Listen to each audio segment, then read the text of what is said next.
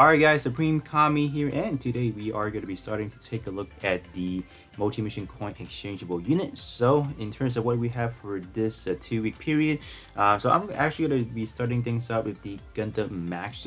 So uh, because this is a unit that I have uh, pretty much maxed it out, you know, no pun intended, last time around when it came out. So we only do have five parts and then we have uh, three parts with the EX skill and then two part with part trait.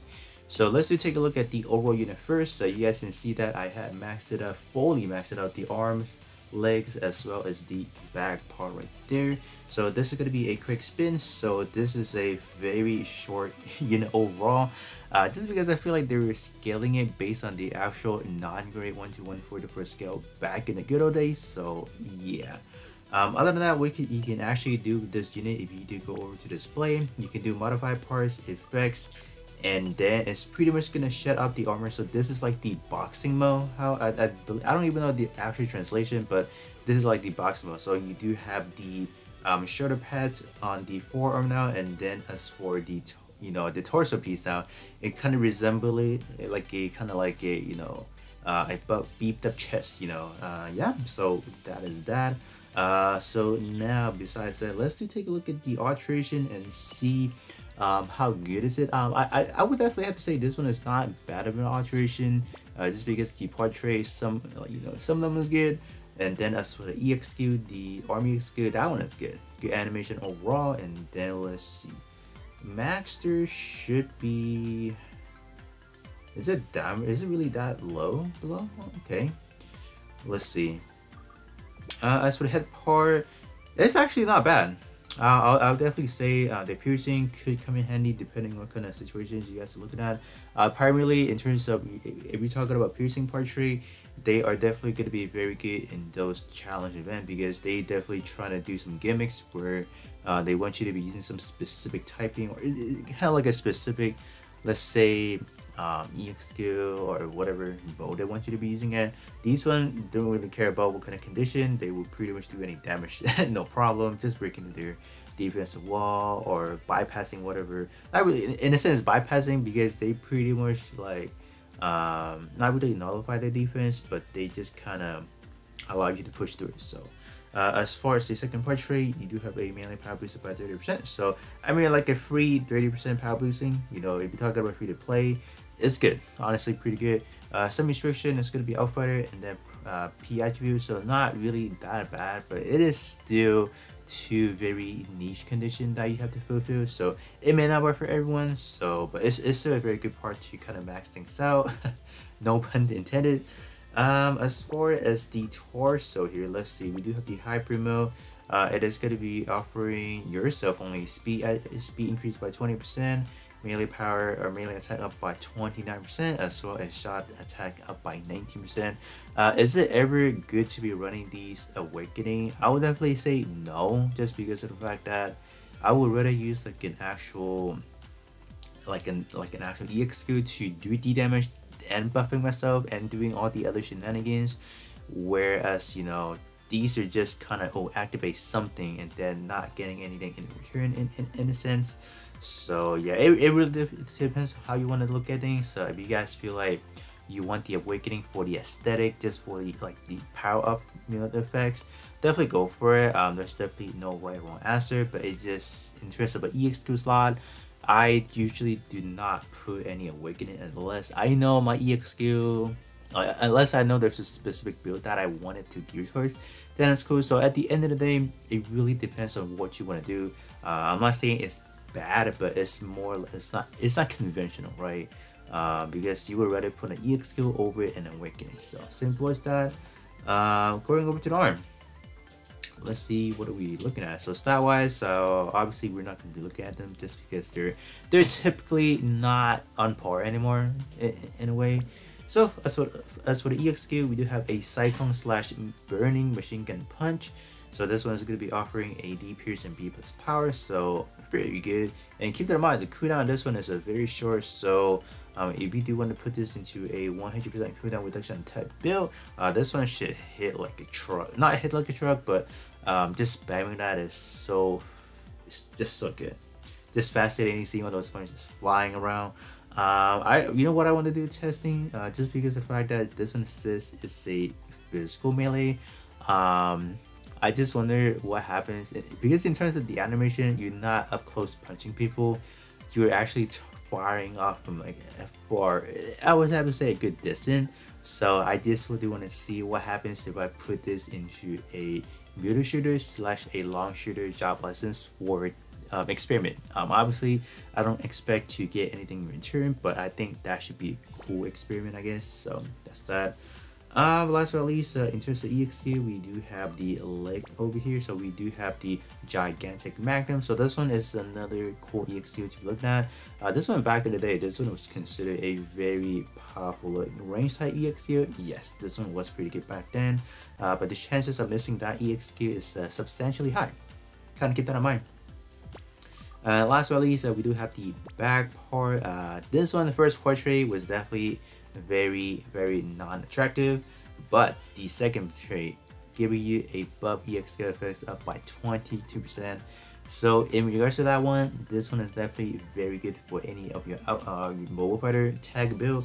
So to this day, I would still feel like this one is still a good candidate just because a free 22% is definitely not it's not easy to come by so definitely do max things out for sure.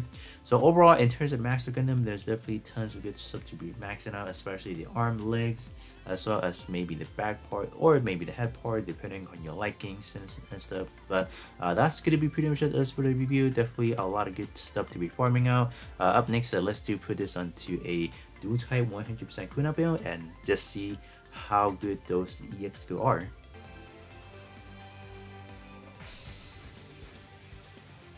Alright, so we are here. Since uh, we do only have 3 EX skills, so why not activate this right there? So, ooh, look at that. So as for this one, it this changes into... Oh, yeah, yeah, yeah, that's why. Yeah, that's why this EX skill looks nice. Like, just, just look at that. I'm just over here admiring those punches. Oh my gosh. Yeah, this is dope. Uh, I guess this is the reason why you do want to use an awakening for the Maxter. If you are using full skin or if you're using partially, uh, you know, some of the let's say parts. Yeah, this one is gonna be fire. Oh, look at those shots. Yeah. yeah, they hit it fast. And they, yeah, it's cool. You do like a spinning, spinning attack right there. And they, they do provide a pretty good um, output. So yeah, they're definitely no sleeper for sure. Uh, I want to test the range. Okay. It's not bad. Oh, okay. Oh, it's good. Oh my gosh. So two sets. You got like a right hook and left hook. Bam. Can we get it from it right here? No, we cannot. But this one, I am definitely eager to test it now to see if this one works on, let's say, um, my limit break. Like this one, I feel like it can. I don't know. Oh my gosh, the range of these are crazy. Like, what? Um, so that is the damage, right? So we are looking at roughly about a hundred and something. So let me activate this. So obviously it's gonna increase, right? There is no way it wouldn't. Yeah. Alright, as I expect. So this one obviously a million EX skills, so act activating a infinite job license would definitely give me an increase for sure. Okay, okay, alright, alright, yeah, this thing is sick. It's good.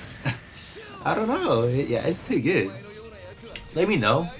Uh, let me know how do you guys feel about those EX skill. Uh, left and right hook, definitely really awesome, pretty cool.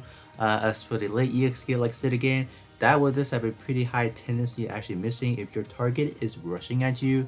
Uh, I would definitely say you will probably only get one of the attacks in. While if you're talking about, let's say, an enemy that is far away, like a long shooter, middle shooter, that when they're charging up their special attacks, yeah, that's gonna be a very good time to be using that. But uh, other than that, uh, let me do hop back in once again. So this time around, I am gonna be using a shot-based uh, cooldown reduction type build. Uh, simply, I just want to see does the limit break even matters on this EX skill. So I'll be right back. Again. So I do have the limit break right there. So I just do want to see what kind of damage output we already talked about. So roughly about a two, 263, okay. Alright, alright, alright, I'll, I'll, I'll that. This one is probably going to be more because this is on a shooting based build. Alright, so now we do have the number. Let's try things out from here. Okay. I don't think no, definitely definitely not. I don't no, there's no way we got the limit. No, I don't know. Definitely not. Alright, so that's safe to say that we did not get that. Uh, as for the shop HDXQ, there should be, a, yeah, there's definitely increase in number because uh, obviously a range beam range, so yeah. So this one definitely did not benefit from any shooting base uh, Liberator, so that is like confirmed pretty much right there. I guess you guys can see that as for the base number, we will talk about roughly about 260 something, and yeah. And you do have a pretty good chance of getting knocked out if your enemy does anything, so but yep, that pretty much confirms it. So uh, up next, uh, I'm probably gonna be doing two separate. Um, gonna be two, doing two separate builds. It's gonna be one is gonna be using this one. I just want to see what kind of maximum damage we can be getting. Uh, gonna be doing that for both of them and see. I'll actually be activating the hyper mode as well, just to cheesing out extra power. So we'll be right back. Alright, so first up, let's try out the Cyclone slash machine gun or burning machine gun punch. So activate this and then activate this. Oh, we got hit. Oh no! And how much was that? Like, oh my gosh. That was like a million a pop. So uh, I'm guesstimating there's roughly about five to six hits. So we were in both sides. We were closing into like 10 million damage, and that is very impressive. And lastly, let's try out the gigantic magnum here. So gonna be activating like limit break, and then just gonna cheese it in. And uh, we could not get in the other attacks because we finished off the enemy. So yeah, that is going to be the downside factor if you are going to be facing an enemy that has a less armor pool. Uh, chances are you'll probably get in that first hit and you are done. But uh, that is going to be pretty much it as for the Maxter Gundam. So do let me know how you guys feel about those EX skill. Um, although something that you can potentially slap onto your build, uh, I would definitely say the armor is good just because you do have that extra, you know, split seconds of, you know, view of the actual unit doing the punch. So that's definitely very impressive. As for the Elite EXU, I do have a little bit of a concern just missing, but um, other than that, part trait wise, some of them are definitely going to be very good if you're talking about, talking about new players that need something. Um, I know it could be a hefty grind and you know kind of like uh, take into the consideration right now. As for the multi mission, there's always like connection issue, for example. So that could definitely be like a you know just not you know, just not really motivated to be farming with those uh, connection issue. But overall, the unit itself definitely topped uh, 10 out of 10 in my opinion. So yeah, with that being said, that is going to be pretty much it. And then I'll be catching you all on the next one.